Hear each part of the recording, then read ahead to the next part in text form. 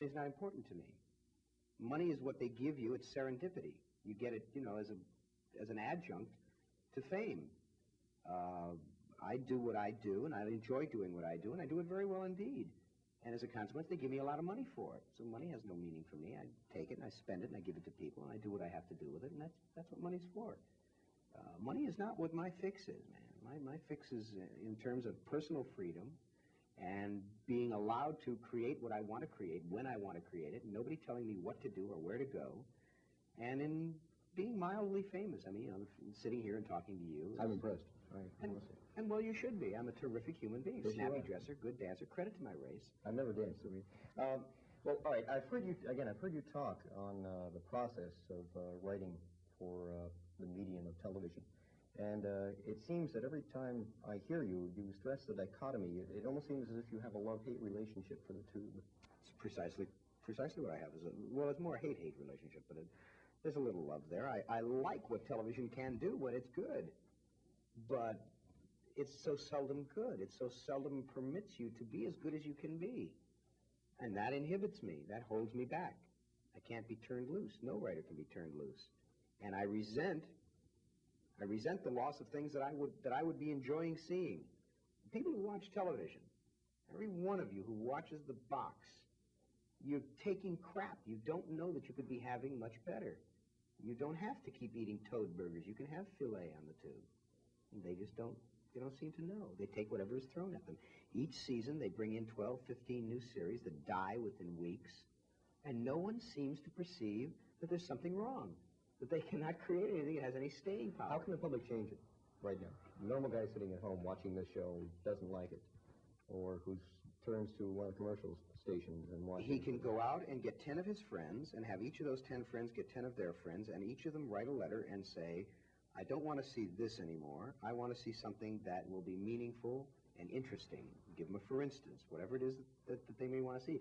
See, it's not the kind of world where I should say we should all be watching Remembrance of Things Past, that we all need Proust to make us better people. We need an hour of Camus each week. Or Thurber. Or Thurber.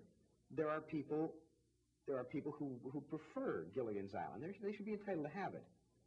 I'm not saying that you should kill all of that crap. There should be that crap there too. People need crap from time to time. I mean, it, it, it helps, you know, it helps leaven the, the, the, the mix. But they should also have the opportunity, if they don't want to see crap, to be able to turn to something else that, that, that, that ennobles them a little more. And you, can't, you haven't got that option. All I ask for are the options, and that's what people watching who would, you know, sitting at home right now say, okay, I want some options. Decide what your options are. Decide what it is you really want. If you really want Charlie's Angels, if you really want Starsky and Hutch, if you really want I Dream of Jeannie reruns, then just, you know, that's cool. Let's give you a little bit of scope and say that uh, tomorrow some uh, uh, unnamed executive from the uh, West Coast called up and said, Harlan, uh, we're giving you your own network, the Harlan Ellison Network. Mm. How would you program it? Well, first of all, I would do away with arbitrary time limitations on shows. There would be no more shows that were an hour in length or a half an hour in length. They would be 40 minutes, 52 minutes, uh, three and a half hours, if that's what it took to tell the story. I would begin programming uh, drama, serious drama, good drama. Greek drama done in uh, in uh, in contemporary settings. I would put Oedipus on, and see how the people who think Mary Hartman is uh, is uh, uh, very daring, how they would respond to that. You know, uh, I would I would send out crews to do documentaries on investigative journalism basis. I would get people like I don't know American Nazis, get them on, let them speak, and then I would confront them with people who had lost their families in Nazi prison camps. I would uh, I would have the best comedy writers write things that were a little tricky. Um, I would do real news shows, real news in depth. For each story, there would be a 15-minute or a half an hour in-depth background on it. I would get all the independent filmmakers who are around this country doing documentaries, and I would buy them all up from them, and I would show them. I would have hours of animated films from Europe, the way they do on PBS with the International Animation Festival. Um, some of the things I How do you think you'd compete? I think I think it'd be I think we we'd clean up, man. I mean, they told Norman that, uh, Norman Lear that uh, Mary Hartman was not going to make it. No one would touch it. The networks wouldn't go near it. Oh, are they eating their hearts out now? Don't they wish they had it? Um, people picked up on Saturday Night Live very quickly, and of course, it immediately went bland the minute that. that well, it's not even Syracuse presently, so. Yeah. I think the, I think whatever network I had programming that way would clean up. We might have some shows that would lose money. So what? So what? Let the other ones support it. Let the ones that are successful get it. That's how publishers do it. Publishers publish unknown writers, first novelists, and support them by Irving Wallace uh, making money and uh, and uh, Jaws making money and Jacqueline Susann. They publish the crap, which permits them to publish the good stuff. Do you think part of the problem with American uh, commercial TV is the fact that One one- excuse me, one more thing. I would bring back a lot of series. I would bring back the James Thurber series, My World and Welcome to It. I would bring back uh, The Prisoner. I would bring back uh, uh, It's a Man's World, which is a series about the three kids on the on the houseboat on the Ohio River. It was a marvelous series. I would go back and I would find all those really good shows.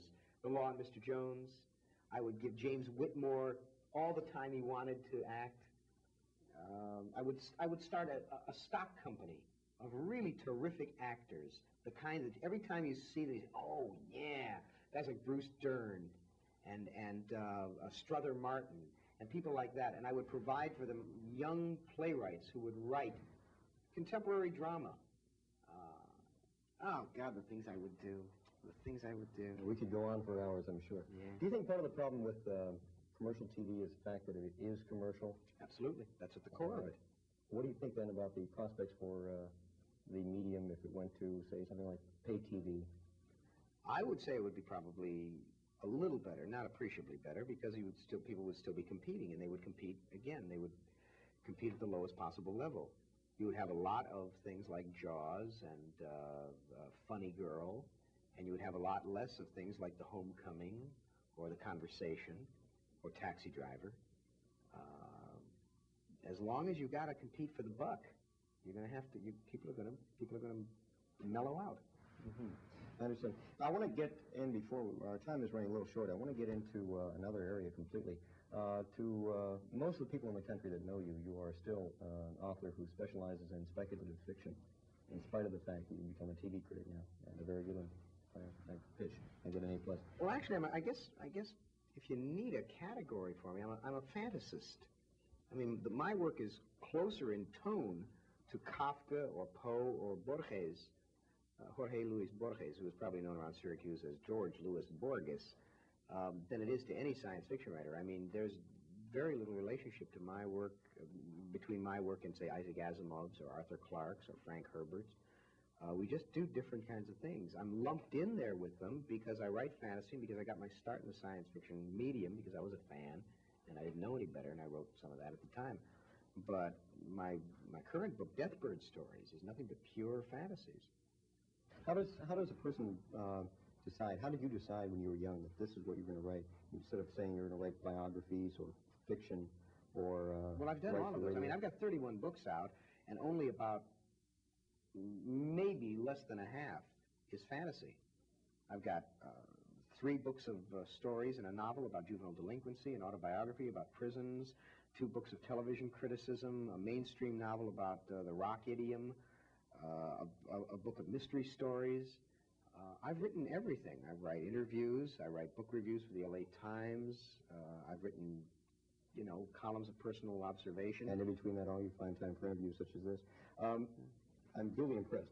I want to let you know No, no, no. I was rambling on and you're cutting me off, which is what you should. No, I shouldn't do that. But I want to get into uh, speculative fiction right now for a moment, uh, fantasy, science fiction. I know in your books you tend to use the term speculative fiction more often than science fiction. Yeah, well, that's a phase that's gone now, too. I don't even use that. I won't have SF on my books anywhere, no matter what it means, because I don't write it. Uh, I think categories and labels are terrible things. They lump a great many different kinds of people in together. I mean, when you stop to think, they call science fiction an art form that ranges from one end with Edgar Rice Burroughs and Tolkien and uh, uh, Lin Carter and his Thongor at the Mound of Venus books, all the way to the other end with Vonnegut and John Fowles and Nabokov. Uh, it's a phrase that doesn't mean anything. It's mumbo jumbo. It's just a handy kind of tag for newsstand dealers or academicians or librarians so they can shove all these books with the funny covers over here and all the nurse novels over here and all the westerns over there. Regardless of how you tag it, though, it's, it's uh, found that it's extremely popular now. It's increasing in popularity. What, science fiction or my work? Um, well, both. Okay. Uh, particularly your work. How do you account for this? Um, Well, I think a, a, particular writer becomes popular because his time comes or her time comes. Uh, the things I'm saying now, I think, deal with society in an interesting way. I take the mirror of fantasy and use it to turn reality slightly so you can look at the situation, whatever it may be that's going down, or the philosophical concept, and, and examine it in a new way. Uh, why science fiction is more popular is, I suppose, because uh, the accepted, ordered